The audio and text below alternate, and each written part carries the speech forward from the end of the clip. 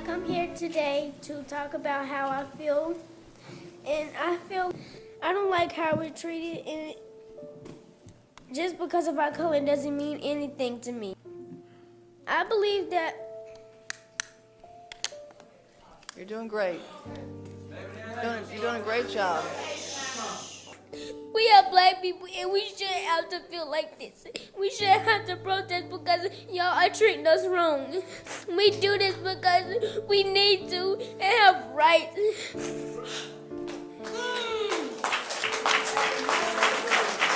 Let, let her let her talk. Go ahead. I've been born and raised in Charlotte. And I never felt this way till now. And I can't stand how we're treated.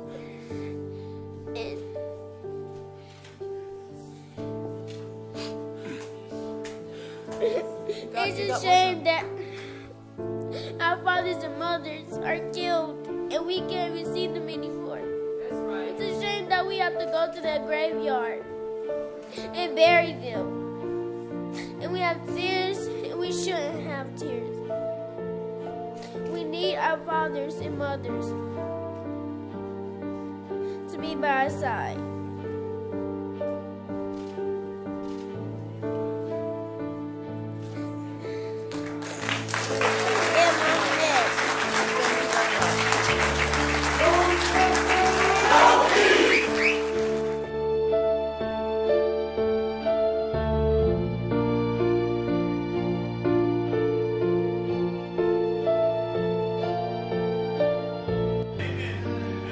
Let me tell you right up front, any of you young people, you want to marry a black man, you girls, don't ask me to do it because I will not. I refuse.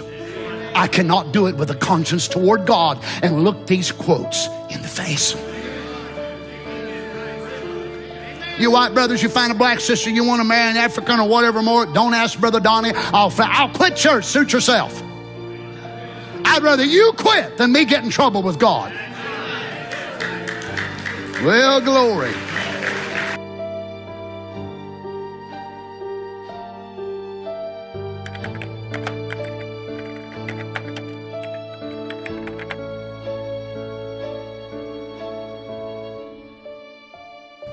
What did it feel like to you? Um, surprising, no. Um, because I understand, I still understand how race plays a huge part in America. Uh, Because no matter how, no matter how much money you got, no matter how famous you are, no matter how many people admire you, at the end of the day, being a black man in America is uh, is very frightening, and it lets us know that we got so much farther, so much further to go to be equal in this in this country.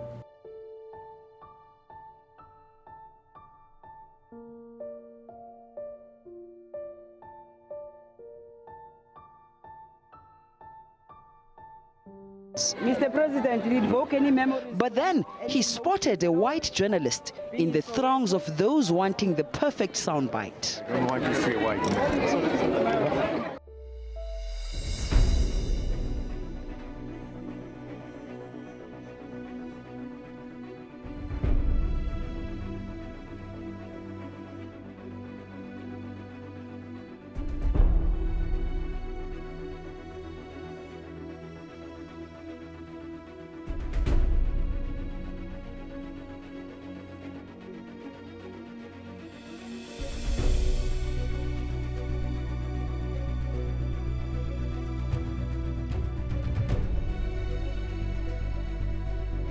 Have a dream.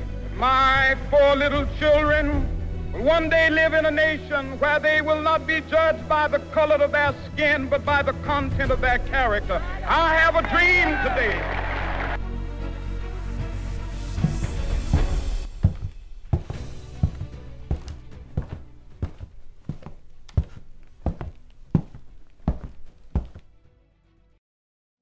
The race have been used as the main parameter to segregate and separate the humankinds during different civilization eras. In the near past, the race was used as the main justification for horrible action such as slavery, apartheid, colonialism, etc. Nowadays, The race issue is used to judge and discriminate people, nation, religions, etc. But the question is, does it even exist?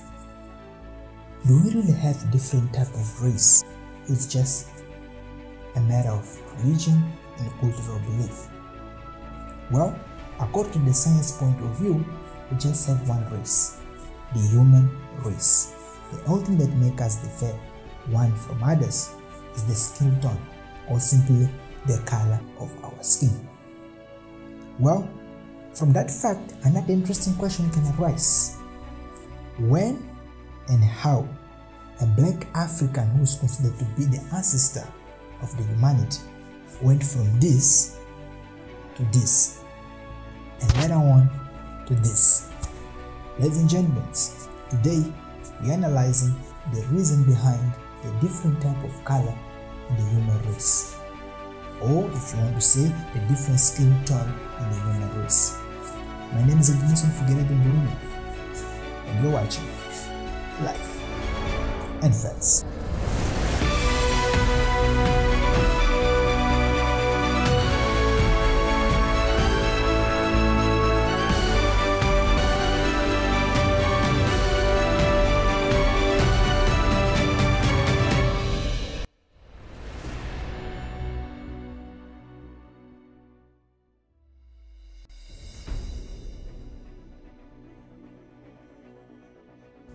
After so many years of research, scientists have come to realize that the variation in the skin tone in human race is a result to adaptation traits such as geography location and exposure to ultraviolet rays. See, a person's skin color is determined principally by the amount of melanin. I know you might be wondering now, what is melanin?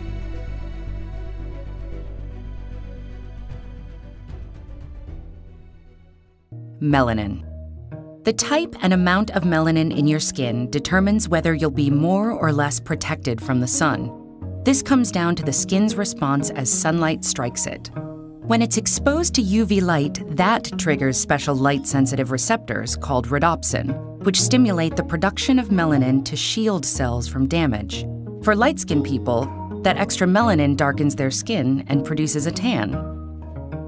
Over the course of generations, humans living at the sun saturated latitudes in Africa adapted to have a higher melanin production threshold and more eumelanin, giving skin a darker tone. This built in sun shield helped protect them from melanoma, likely making them evolutionarily fitter and capable of passing this useful trait on to new generations.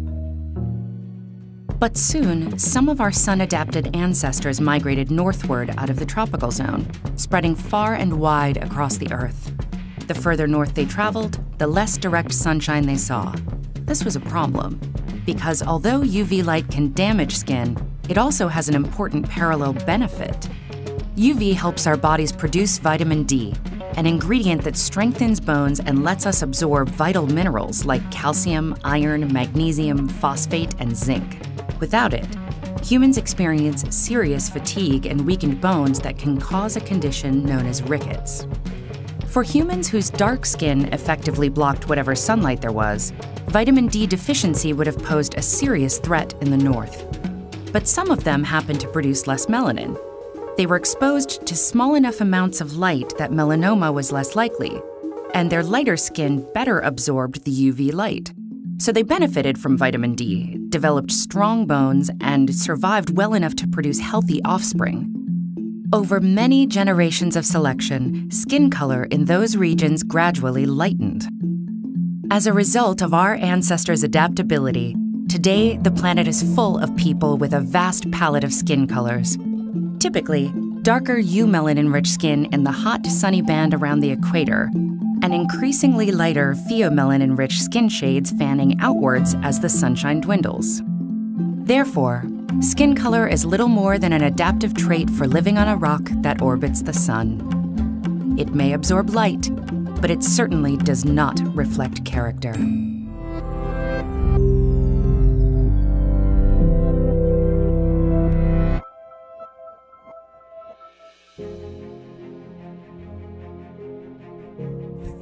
So, after we analyzed all the points and scientifically justified the reason behind of the different skin tones, we conclude that when our parents migrated 50,000 years ago, not from Africa to Asia, Europe, America, etc., due to their migration, they located themselves in different areas and because the climatic conditions, the geographic condition, and the exposure to ultraviolet rays in those regions were different from the tropical areas, their body had to adjust to different conditions.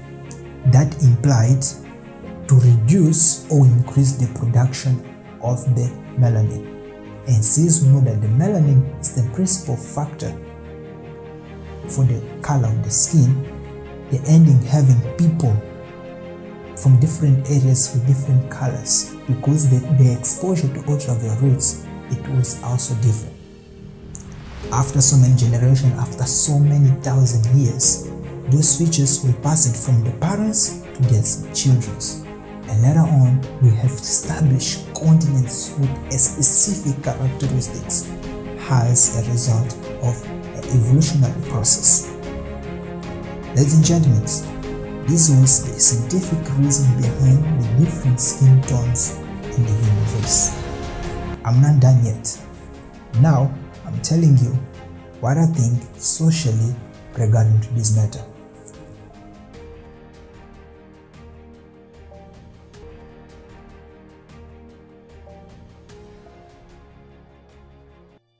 It's something that I don't usually talk about because I'm afraid that I'm making people uncomfortable. It's something that affects me in almost every aspect of life. From what I've seen growing up, dark skin equates to being poor, dirty, ratchet. They tend to be the bad guys in Tyler Perry movies.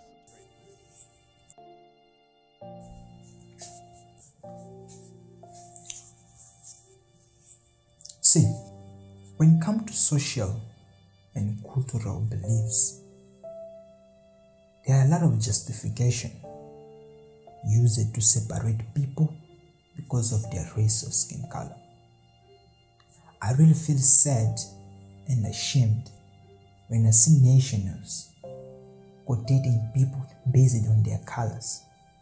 We have religions which discriminate people just because of their colors or their skin tone, if we prefer. Might not take this issue so seriously, but if we sit to analyze the huge impact that a race discrimination have made to the story of the humanity is a case for us to stop underestimating this issue. And in my point of view, it all starts from you and from me. When you see someone with a different skin tone, don't see someone who is inferior or someone who is superior remember that we are all from the same descent. Doesn't matter if he's black, he's white, he's Asian, we all came from the same ancestor. The only thing that made us different is the adaptation to different areas. Just because our parents chose a different places to stay, does it even make a reason to us to discriminate ourselves? How many wars? How many rejections? How many slavery situations we've seen in the world due to this small issue? It was supposed to be small because it's just the tone or the color of the skin. Ladies and gentlemen, I hope this video was scientifically useful for you, but also brought you to analyze what are we doing? How are we addressing this matter? Are really taking serious? From today, I would like to invite you to see everyone. Doesn't matter if he's white, is black, is Asian. First, as a human being. After that boundary of human being, that equality of human being is not boundary, sorry, can come our difference, our religion's difference. And for those who are religious, do use the religion try to justify horrible things.